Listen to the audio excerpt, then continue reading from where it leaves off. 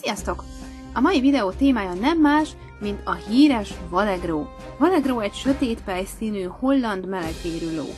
2002-ben született, már fiatalon is nyert versenyeket, de 2012 óta szinte verhetetlen a díjlovaglásban világszinten. Valegro eredeti neve Blueberry volt, azaz áfonya. Csikó kora óta nyugodt természetű ló, könnyű és biztonságos volt őt lovagolni. Gazdái és lovasai beszámolója alapján nagyon együttműködő társ volt a munkában, látszott rajta, hogy tanulni és dolgozni akar. Elbűvölő természete miatt mindenki imádta, aki csak dolgozott vele. Valegro számos győzelmével és kiemelkedő teljesítményével sok rajongót szerzett világszerte. A Breyer is felfigyelt a táncoló csodalóra, eddig összesen három Valegro modell jelent meg Breyer kiadásban, amiből nekem kettő megvan.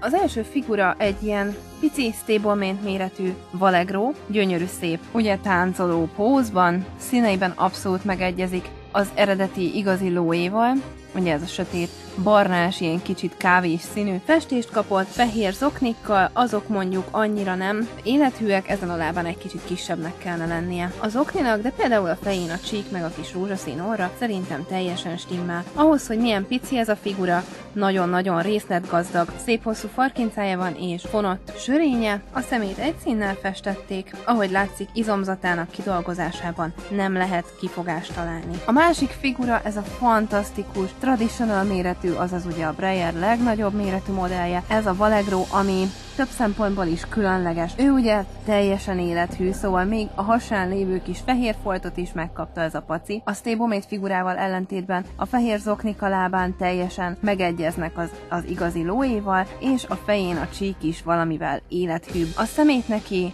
két színnel festették, ugye barna és fekete, a feje fantasztikusan szépen, aprólékosan kidolgozott, ahogy ugye a teste is mindenhol. Gyönyörű pózban áll, nagyon szép csillogó ezüst színű patkókat kapott, és ahogy látszik, ő egy fekete talpon áll. Breyer lovak közül ő az egyetlen, akinek ilyen talpa van, kicsit olyan trófeaszerű, így maga ez a figura. Az egyetlen dolog, amiért nem szeretem ezt a talpat, azért, mert ugye fényes, fekete műanyag, fantasztikusan jól meglátszik rajta, amikor elkezd porosodni, úgyhogy gyakran kell takarítani. Erre a figurára nem tudok rosszat mondani, fantasztikusan szép, az én gyűjteményemnek talán a legszebb darabja. Minden részletét imádom úgy, ahogy van, ő az abszolút, abszolút, abszolút kedvenc Breyer lovam. Valegro témában még fontos megemlíteni, hogy az ő történet történetét egy gyerekeknek szóló kis regény sorozatban is meg lehet találni, magyarul nem, de aki tud angolul olvasni, annak nagyon érdekes és izgalmas olvasmány lehet Valegro története.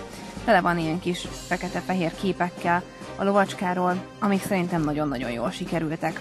Eddig tudtommal 5 kötet jelent meg, nekem csak ez az egy van meg, de tervezem a későbbiekben megszerezni a többit is. Egyes szám első személyben beszél az író, szóval Valegro szemszögéből látjuk a történteket, ami miatt még érdekes lehet az olvasmány. Valamint Valegro tiszteletére kiadásra került egy ilyen gyönyörű, keménykötéses könyv is, ami az ő történetét meséli el. Ez már nem regény, eredeti fotókkal illusztrált könyv, ami szépen bemutatja Valegro történetét, illetve az ő gazdái és lovasai is nyilatkoznak erről a fantasztikus paripáról. Magyarul ez sem elérhető, de angolul minden további nélkül beszerezhető, külföldi oldalakról, káprázatos fotók vannak benne, és nagyon sok hasznos, érdekes információ. Aki ennek a csodás lónak a rajongója, ezt a könyvet, illetve a regényt csak ajánlani tudom.